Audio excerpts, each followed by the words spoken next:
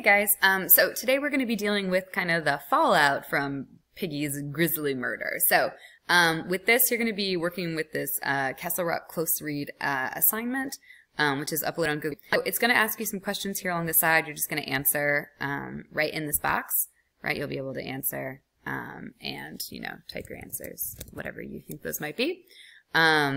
And right so hopefully something that actually makes sense not just uh, gibberish. So you'll be answering the questions um, based on this passage. Um, they're going to ask you kind of various questions some of them are analytical some of them are more just kind of what you're thinking about. Um, here it's asking you to highlight auditory imagery so anything that makes you think of sound. Uh, make an inference about the setting. So normally what would these sounds be used to describe um, if we're thinking about them in a different setting uh, um, you think about how the symbolism of the conch has changed, right? Begin, you know, from the beginning of the novel to this point when it has been broken. Um, in blue, I want you to highlight all the all the words in the passage that remind you of an animal, more specifically a pig.